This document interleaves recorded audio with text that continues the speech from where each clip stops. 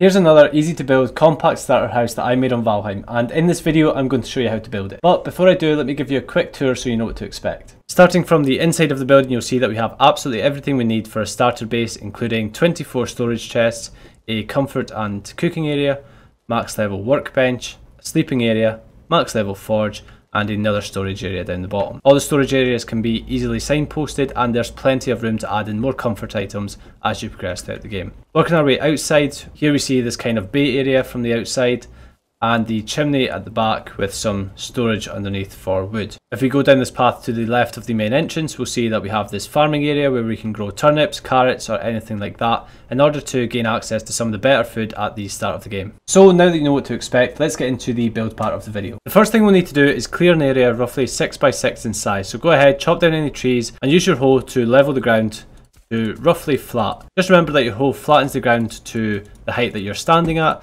so it makes sense to do as much as you can from a stationary position. Once you've done that, choose where you want your front left corner to be and place down a wood pole 1 meter. Now the initial floor plan for this is going to be 6 by 4, so I'm going to lay that out by using the wood beam 2 meters and placing a wood pole every so often just to support the beams above. Once you have this initial 6x4 rectangle you can go ahead and grab your wood floors and fill in this space in the middle. So now that we've got our main room built, we can add on all the extra shapes for things like our fireplace. Come to the back of the structure, we'll add on another 2x1 rectangle and we can support that underneath. On what's going to be the front of the structure, we'll add another 2x1 for the outward bay window, again with the supports underneath. And at the corner, which is going to be our entrance, we're going to create a 3x2 area which will be our sheltered entrance. Again, Go ahead and fill in your entrance with wood floors, also your window area, and with the area for your fire, grab your hoe and slightly raise the ground around this area and then level it out. And all that's going to allow us to do is basically place in the fires at the correct height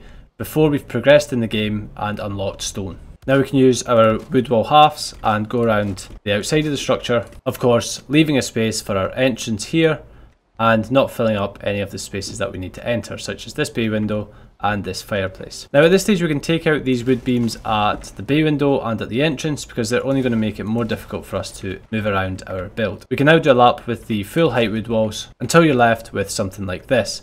Now I've left space at the front entrance here for a window, also here at the bay window and I've also left out this area at the back which we're going to use as a chimney to extract the smoke from the fires. At this stage we can add in the doors. I'm going to grab the wood wall one by one, place it down at the front and connect the wood gates do that. I think just having the little indent makes it look a little bit better. And now we're at a stage that we can work on the roof. Start off by placing a wood floor 2x2 across the door like this, and then using our wood floor one by ones, start working our way along the length of the structure until we have an overhanging wood floor on each side of the long side of the structure. So you can see we've got it over this side on the chimney side as well and at the front here. All that's going to allow us to do is overlap the roof which is going to make it look a lot more interesting than just lining the roof up with the top of the walls. At this stage we can start to work on the roof.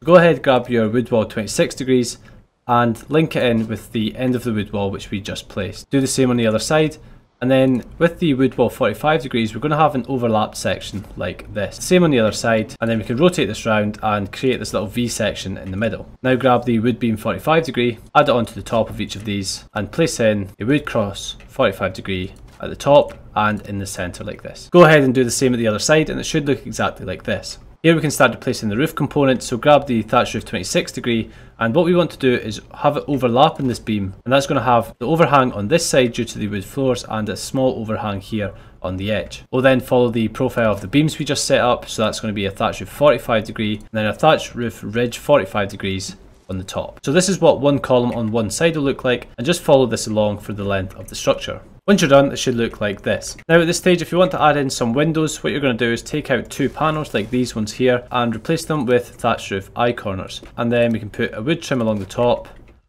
On the underside of the window here, we'll have a wood pole in the middle and a wood beam 45 degree like this. I'm going to pop in another one here and that's all we need for the roof of the main body of our build. At the bay window, Take out any full length walls if you have placed them in like I did and grab your wood wall 26 degree inverted and place one on either side of the entrance to the main build. We'll then grab our thatched roof ridge 26 degree and our thatched roof 26 degree and place them like this. Now what we want to do is have it slightly overhanging, so we're going to have a wood beam 1 meter here and then a 2 meter coming off the end of that. What this is going to allow us to do is use this as a lock point to have almost two overlapping roof components. We'll place in the roof ridge at the top and another roof on the other side. Finish this off by trimming each of the sides and what I like to do is drag this back into the ground. Have a wood pole 1 meter on either side and then also we can put our 2 meter in like this. All we're left to do now is work on the shelter for the entrance. So take out these two beams that we placed in earlier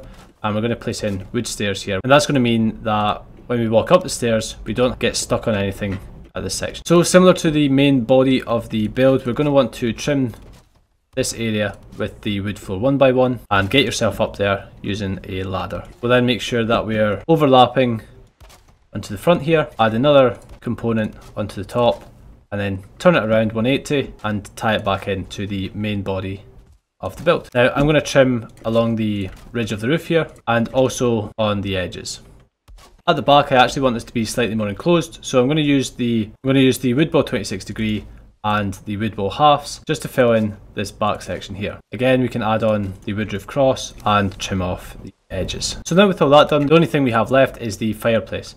So I'm going to grab the thatch roof 26 degrees and lock it off this half wall that I placed earlier and also off the bottom of the half wood wall here. We can then use this almost as a guide as to how we want the roof to be shaped. So it's going to be a wood wall 26 degree and a half wall and then a wood wall 26 degree. We'll have another thatch roof 26 degree along the top here and we can trim this all off with the wood beam 2 meters. Now similar to the window bay itself I'm going to have the wood poles going down into the soil. If you're struggling to get a lock point for this a good thing to do is just add in something like a wood wall half. Now you can use that place in the wood pole into the ground. Now the way that these wood beams kind of just end makes it look a little bit weird so I'm going to tie this back into the structure with the wood beam 26 degrees. If you like you can create a paved road using the hoe and some stone around the entrance and for the farm at the back we're going to use the round pole fence and just connect into this back right corner. It's up to you how big you want to build it. I'm going to go maybe four out and then turn it in and just work this along until I have a reasonable sized path along the side of the house. So I think that's reasonable so I'm going to start to work back the way now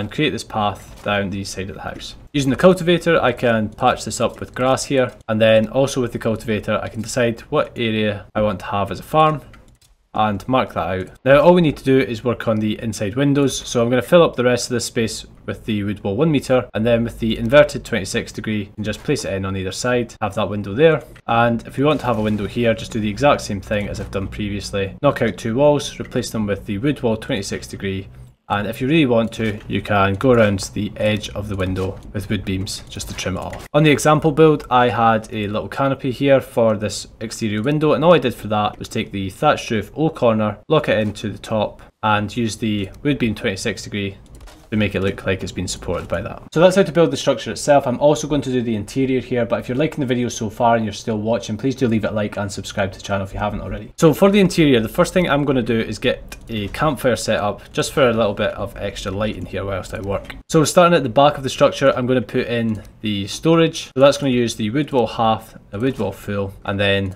we're just going to create different shelves at intervals like this. And then with the wood beam 1 meter, I'm going to work along the bottom of the build like this. And that's going to allow us to place in wood pole 2 meters like this. And then in the center, we don't actually need it to be to go as high as that. So we're just going to have something like that. We can then take these ones out at the bottom because we're going to use the wood beam 2 meters and go along each of these lines. Now that you've got this initial grid, you can come into the furniture tab and grab your regular chest, start filling in all these boxes. Once you're done, grab your signposts, place them in at the top here, and if you think it's a little bit too dark, you can use a ladder, take out this pole right here, and grab yourself a standing wood torch.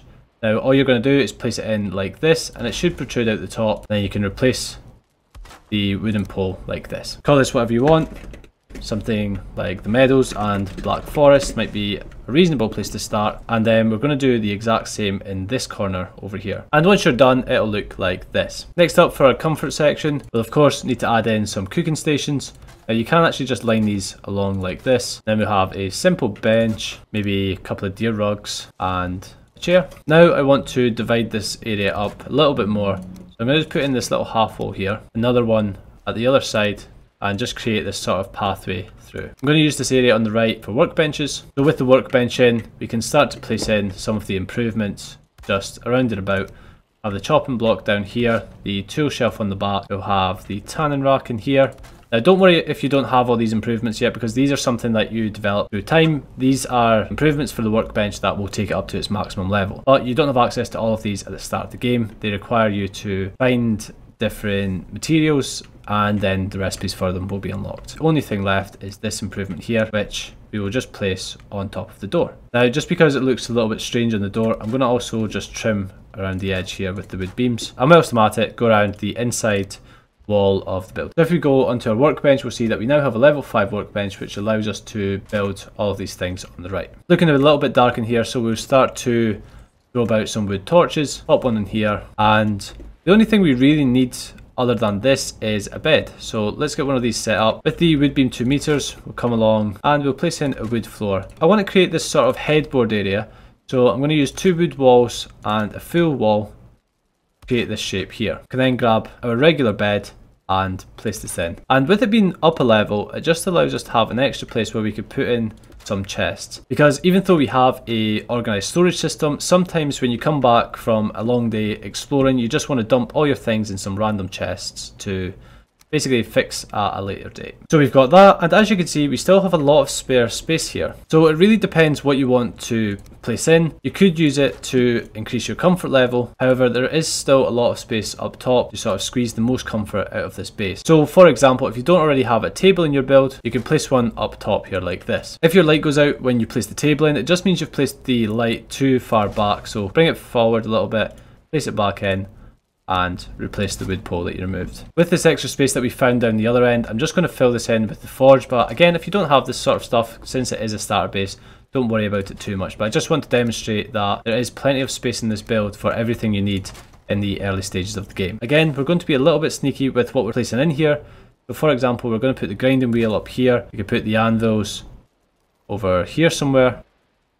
And as you can see, they're still connecting to the forge. Got our forge tools, just the forge coolers left. We'll place that in just there. So now that the forge area is done, that's pretty much all we need from this build. So that's it. You can see we've got the max level forge, max level workbench, sleeping area, plenty of storage, plenty of place to organise meals, and a level 8 comfort with plenty of room to squeeze in an extra couple of levels wherever you need to. So that's how to build this compact starter house on Valheim. If you're still watching at this point, please do like the video and subscribe to the channel if you'd like to see content similar to this in the future. And thank you so much for watching. I will see you next time. Bye.